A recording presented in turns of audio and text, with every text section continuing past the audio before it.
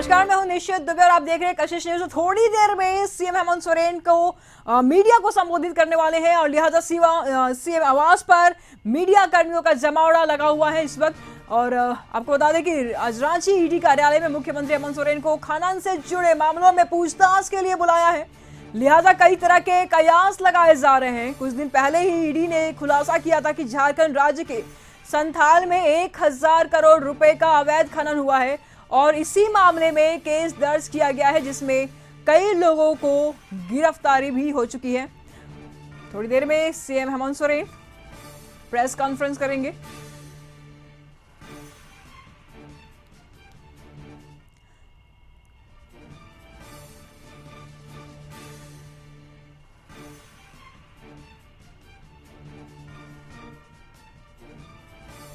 तो एक हज़ार करोड़ रुपए का अवैध खनन का मामला है और इन्हीं विषयों पर आज ईडी के सामने सीएम हेमंत सोरेन को पेश होना है इसमें कई लोगों की इस मामले में गिरफ्तारी भी हो चुकी है। थोड़ी देर में सीएम हेमंत सोरेन मीडिया को संबोधित करने वाले हैं। लिहाजा सीएम आवास पर मीडिया कर्मियों का जमावड़ा लगा हुआ है और आज रांची ईडी कार्यालय में मुख्यमंत्री हेमंत सोरेन का खनन से जुड़े मामलों में पूछताछ के लिए सीएम हेमंत सोरेन को ईडी ने बुलाई है। और इसी मामले में सीएम हेमंत सोरेन से पूछताछ की जाएगी। कई तरह के कयासे लगाए जा रहे हैं। कुछ दिन पहले ही आपको बता दें कि ईडी ने खुलासा किया था कि झारखंड राज्य के संथाल में एक हज़ार करोड़ के घोटाले का मामला सामने आया है और आज रांची ईडी कार्यालय में मुख्यमंत्री हेमंत सोरेन को खनन से जुड़े मामलों में पूछताछ के लिए बुलाया है। लिहाजा कई तरह के कयास भी लगाए जा रहे हैं इसमें। कुछ दिन पहले ही ईडी ने खुलासा किया था कि झारखंड राज्य के संथाल में एक हज़ार करोड़ रुपए का अवैध खनन हुआ है और इस मामले में केस दर्ज किया गया है, जिसमें कई लोगों की गिरफ्तारी भी हुई है। तो आज ईडी के सामने सीएम हेमंत सोरेन को पेश होना है और उससे पहले ये प्रेस कॉन्फ्रेंस करेंगे, मीडिया कर्मियों से बातचीत करेंगे, अपनी बातों को रखेंगे इनके समक्ष। तो इस पर तमाम जानकारी के लिए रांची से हमारे संवाददाता न्यूज़ कोऑर्डिनेटर मनोज जी इस वक्त हमारे साथ बने हुए मनोज जी, क्या कोई जानकारी है? क्योंकि अभी सीएम हेमंत सोरेन प्रेस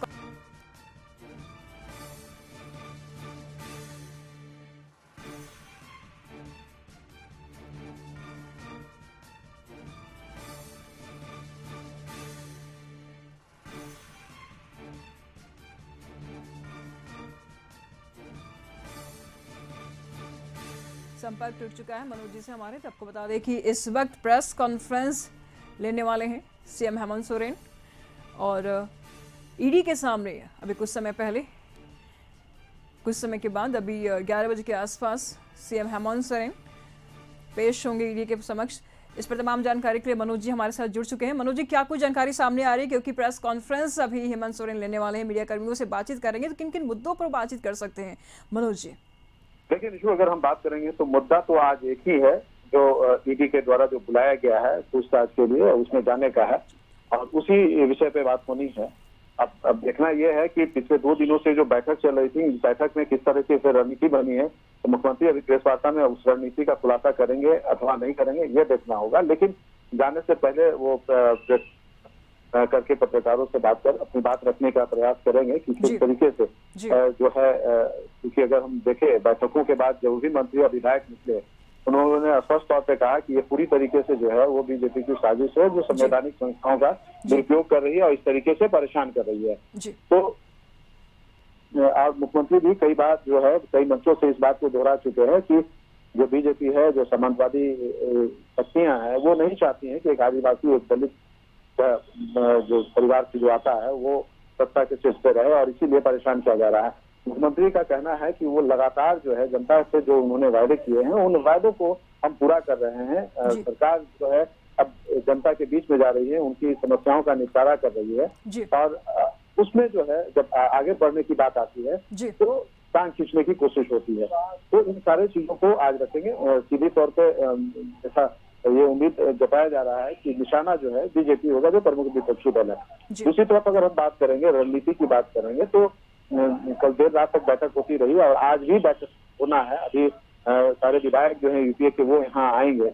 मुख्यमंत्री के साथ बैठक करेंगे और मुख्यमंत्री जब चले जाए फिर नहीं आएँगे किसी से तब तक सभी विधायकों को यही रहने का निर्देश दिया जाए। तो एक से कहा जाए कि सारे लोग जो है आगे की क्या गतिविधि होगी ईडी की क्या ईडी का क्या एक्शन होगा इन सारे चीज़ों पे लोगों की निगाह जो है वो टिकी हुई है। इन सबके बीच में अगर हम बात करेंगे तो बीजेपी कार्यालय की बात हो ईडी कार्यालय की बात हो आशु कार्यालय की बात हो तो वहाँ पे जो है सुरक्षा व्यवस्था जो है काफ़ी कड़ी कर दी गई है। क्योंकि इस बात का अंदेशा है क्योंकि जेएमएम कार्यकर्ताओं का महाविधान हो रहा है और बड़ी संख्या में जेएमएम के कार्यकर्ता जो है वो आ रहे हैं। और आप ऐसी स्थिति में कार्यकर्ता कहीं उग्र ना हो जाए। उन सारी चीज़ों को देखते हुए बीजेपी कार्यालय और ईडी कार्यालय आशु कार्यालय की सुरक्षा को बढ़ा दी गई है। वहीं अभी अगर बात करेंगे तो अभी मनोज जी हम आपके पास फिर से आएँगे। इस वक्त हमारे पास तमाम जानकारी के लिए सोहन भी हमारे साथ बने हुए हैं। सोहन जी क्या कुछ जानकारी आ रही है सामने से वहाँ पर? क्योंकि मीडिया कर्मियों का जमावड़ा लगा हुआ है और इस वक्त प्रेस कॉन्फ्रेंस लेने वाले हैं सीएम हेमंत सोरेन। क्या कुछ ताज़ा अपडेट आ रही है वहाँ से? देखिए डी ऑफ़िस में थोड़ी देर के बाद झारखंड के मुख्यमंत्री हेमंत सोरेन पहुँचने वाले हैं और उनसे। पहुँचने से पहले सुरक्षा का चाक चौबंद का व्यवस्था किया गया। आप यूट्यूब पर दिखाना चाहेंगे किस तरह व्यवस्था किया गया। रांची के एसएसपी रांची के डीसी भी यहाँ पर पहुँचे हुए हैं जो यहाँ पर सुरक्षा का इंतज़ाम किया गया है उसका यहाँ पर मुआयना किया जा रहा है। रांची में ईडी ऑफ़िस के अलावा भाजपा ऑफ़िस आशु ऑफ़िस और राजभवन के पास भी अतिरिक्त सुरक्षा का व्यवस्था किया गया। सर किस तरह की सुरक्षा का पुख्ता इंतज़ाम किया गया? सभी प्रमुख चौक चौराहों पर फोर्सेज और मजिस्ट्रेट्स का डिप्यूटेशन है और अ, हमने विधि व्यवस्था के मद्देनज़र सारे इंतज़ाम सुरक्षित रखे हैं और पूरा प्रयास रहेगा कि जितने जो भी कार्रवाइयाँ दिन भर में होती हैं उसमें चौक चौबंद सुरक्षा व्यवस्था के ही अंतर्गत हो और विधि व्यवस्था पूरे शहर की बिल्कुल माकूल व्यवस्था इसके अलावा भाजपा ऑफ़िस आज को भी व्यवस्था किया गया। है। सभी जगहों ऐसी ऐसी जगह हैं जहाँ पर कि कुछ होने की संभावनाएँ प्रतीत हो रही थी उन सभी जगहों पर माकूल व्यवस्थाओं को चाक चौबंद रखा गया है। हम चाहेंगे कि शहर वासियों को किसी भी तरह की परेशानियाँ सर नहीं हो। कार्यकर्ताओं की संख्या बढ़ती है उसके लिए उसके लिए भी पूरी व्यवस्था है प्रॉपर डिप्यूटेशन है सभी को ब्रीफिंग है और क्राउड कंट्रोल मेजर्स के भी सभी उपायों को अपनाया गया है। और मेरी समझ से शहरवासी पूरी तरह से नॉर्मल लाइफ आज जी सके इसके लिए व्यवस्था को चाक चौबंद करके रखा थैंक यू. तो ये तो हमारे साथ रांची के डीसी इन्होंने बताया कि पूरी तरह सुरक्षा का पुख्ता व्यवस्था किया गया है। रांची के एसएसपी से हम बात करते हैं कि सर किस तरह की सुरक्षा का पुख्ता इंतज़ाम किया गया है। सर सर किस तरह की सुरक्षा का पुख्ता व्यवस्था का इंतज़ाम किया गया है? देखिए सुरक्षा के पर्याप्त इंतज़ाम किए गए हैं क्योंकि शहर में आज कई जगहों पर कई संगठनों के द्वारा जो है सहियाओं के द्वारा भी और भी कई संगठनों के द्वारा धरना प्रदर्शन आयोजित किया गया तो उसको ध्यान में रखते हुए जितने भी चौक चौराहे हैं जो मुख्य कार्यक्रम स्थल है राजभवन के पास में मोराबादी ग्राउंड पे उन सब जगहों पर मैजिस्ट्रेट और फोर्सेस की डिप्लॉयमेंट की गई है। सर ये हमेशा व्यक्त किया जा रहा है कि जेएम के काडर भी आ सकते हैं सीएम के साथ। जो भी हम लोग के पास सूचनाएँ उपलब्ध हैं जो आसूचना हमारे पास उपलब्ध है उसके अनुरूप हम लोगों ने तैयारी की है।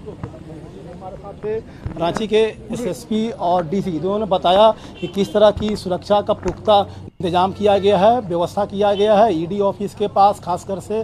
और इसके अलावा जो भाजपा ऑफ़िस है आजसू ऑफ़िस है और राजभवन के पास अतिरिक्त सुरक्षा का इंतज़ाम किया गया है। और जो अंदेशा व्यक्त किया जा रहा है कि सीएम हेमंत सोरेन के साथ जेएमएम के जो हज़ारों जो काडर है वो भी उनके साथ आ सकते हैं। तो विधि व्यवस्था बिगड़ सकती है। आपको हम दिखाना चाहेंगे कि ईडी ऑफ़िस की सुरक्षा किस तरह इंतज़ाम किया गया है किस तरह घेरे में लिया गया है ईडी ऑफ़िस को। तो देखिए ये ईडी ऑफ़िस है और ईडी ऑफ़िस के पास किस तरह रांची पुलिस के जवान तैनात हैं यहाँ पर बैरिकेटिंग भी लगाया गया है कि जब भीड़ भाड़ यहाँ पर ज़्यादा होगा तो उनको वहाँ पर कैसे रोका जाएगा तो इंतज़ार किया जा रहा है। मुख्यमंत्री हेमंत सोरेन का कि मुख्यमंत्री हेमंत सोरेन यहाँ पर कितने बजे आते हैं लेकिन लगभग जो जानकारी मिल रही है कि साढ़े ग्यारह बजे का समय दिया गया है। साढ़े ग्यारह बजे के आसपास मुख्यमंत्री हेमंत सोरेन ईडी ऑफ़िस पहुँचेंगे। जी। शुक्रिया सोहन आपका इन तमाम जानकारी के लिए। हमारे साथ मनोज जी भी बने हुए मनोज जी, वहाँ की सोहन और मनोज जी से बहुत बहुत शुक्रिया आप लोग का इन तमाम जानकारियों के लिए। क्या कुछ जानकारी आ रही है? मनोज जी फिर से हमारे साथ जुड़ चुके हैं। मनोज जी क्या कुछ ताज़ा तस्वीरें वहाँ पे बयां कर रही हैं? कि मैं बता रहा था कि लगातार जो है यहाँ पे नेताओं का अब आना जाना शुरू हो चुका है। अभी अगर हम बात करेंगे तो कांग्रेस के जो तीन निलंबित विधायक हैं इरफान अंसारी नमन विक्रम सिंगारी और राजेश कश्यप जो। पिछले दिनों कैश कांड को लेकर के और सरकार गिराने के आरोपों में जो बंगाल में गिरफ़्तार किए गए थे कांग्रेस ने निष्कासित किया था वो तीनों विधायक मुख्यमंत्री आवास पहुँच चुके हैं। वहीं अगर हम बात करेंगे तो पार्टी के जो प्रदेश महासचिव है विनोद पांडे वो पहुँचे हैं यहाँ पे। और इसके साथ ही मैं बता दूँ आपको कि जो साहेबगंज के जो राजमहल के जो सांसद हैं विजय हंसदा वो भी यहाँ पहुँचे हैं। तो एक तरह से कहा जाए कि अब विधायकों मंत्रियों कार्यकर्ताओं का पहुँचना जो है शुरू हो चुका है। मोराबादी मैदान में महाजुटान जो है वो होना शुरू हो गया जो जेएमएम के जो कार्यकर्ता हैं बड़ी संख्या में विभिन्न राज्य के विभिन्न हिस्सों से विभिन्न जिलों से यहाँ पहुँच रहे हैं। तो एक तरह से कहा जाए आज जो है लोगों के यहाँ जमावड़ा हो रहा है और सारे लोगों की निगाह जो है ईडी के कार्रवाई पे टिकी हुई है और अभी क्या कुछ अगला निर्णय होता है उस पर टिकी हुई है कि जेएमएम किस तरीके से इन सारी चीज़ों को लेकर के आगे बढ़ रही है सरकार को लेकर के क्या आगे उनका कदम होगा इन सारे चीज़ों को लेकर के जो है सब लोगों की निगाहें टिकी हुई है। अभी मैं बता दूँ आपको कि मुख्यमंत्री जो है अब से थोड़ी देर में जो है प्रेस वार्ता कर, पत्रकारों से बात करने वाले हैं। और सारी तैयारी हो गई है, बस मुख्यमंत्री के आने का इंतज़ार किया जा रहा है। जैसे ही मुख्यमंत्री आएँगे प्रेस वार्ता शुरू हो जाएगी और उसमें क्या कुछ बोलते हैं मुख्यमंत्री क्या कुछ अपना पक्ष रखते हैं, उन सारी चीज़ों से जो है लोगों की निगाहें जो है टिकी हुई है कि किस तरीके से ये सारी चीज़ें सामने आ रही हैं। जी निशु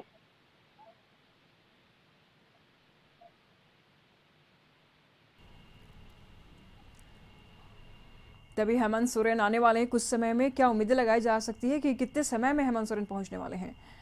अगर हम कहें निशो तो आधिकारिक तौर पे जो प्रेस वार्ता का जो समय था वो समय दस बजे निर्धारित किया गया था। जी। लेकिन वो उसमें भी थोड़ा विलम्ब हो रहा है और अभी जो गांडे के जो विधायक है सरफराज अहमद वो भी अभी पहुँचे हैं सीएम आवास।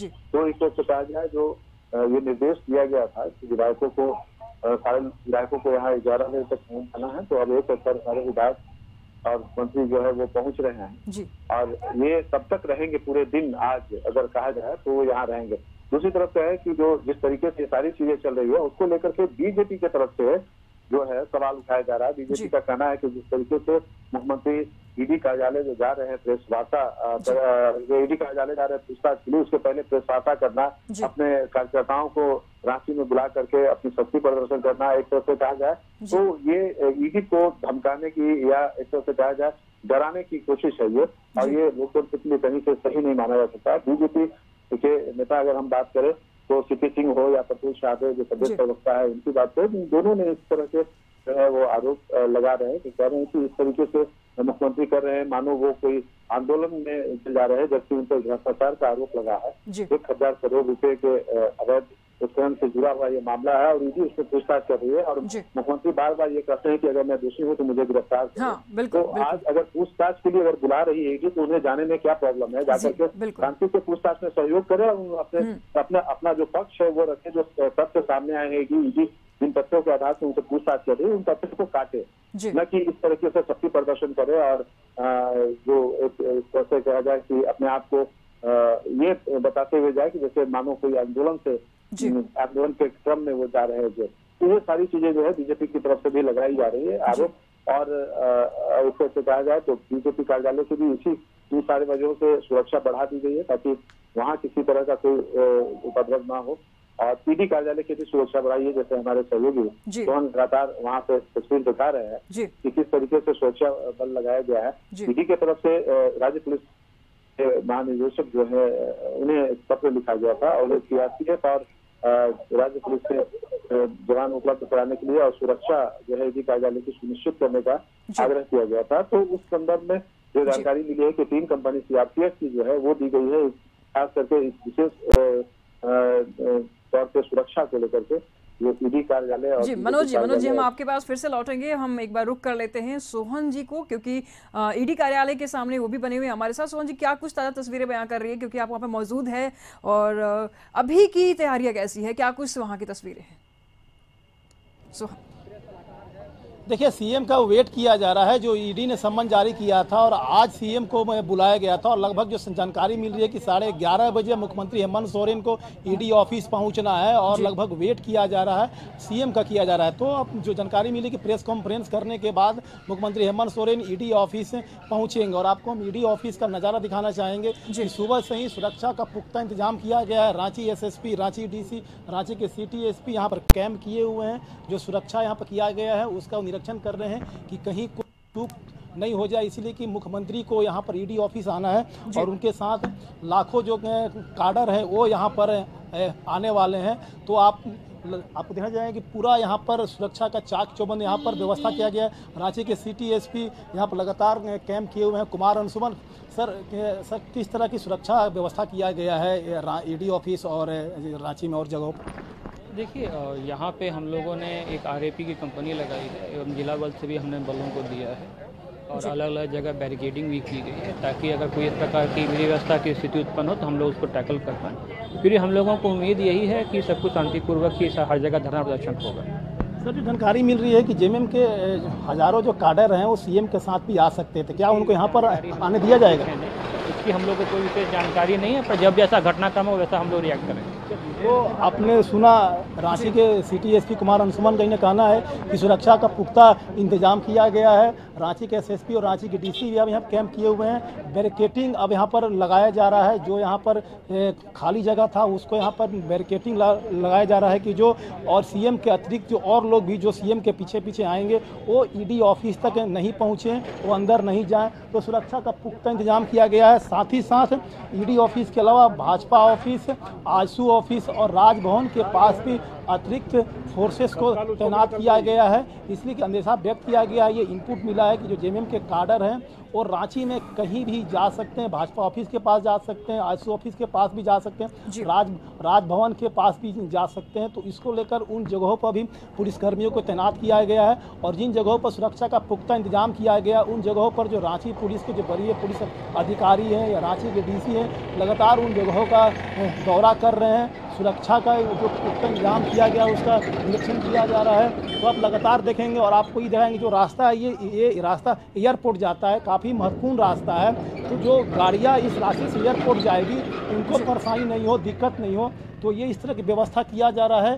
काफ़ी यहाँ पर सुरक्षा का जो व्यवस्था है उस व्यवस्था को यहाँ पर देखा जा रहा है कि कहीं कोई चूक नहीं हो कोई गड़बड़ी नहीं हो।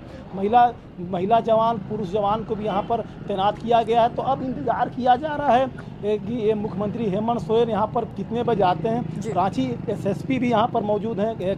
किशोर कौशल उनसे भी हम बात करेंगे और यहाँ पर एक किस तरह की व्यवस्था की की गई है। रांची के डीसी भी हमारे साथ हैं। रांची के डीसी भी यहाँ पर सुबह से ही सुरक्षा का इंतज़ाम देख रहे हैं। रांची के एसएसपी से हम बात करते हैं। सर, आप लगातार यहाँ निरीक्षण कर रहे हैं, किस तरह की सुरक्षा इंतज़ाम किया गया है?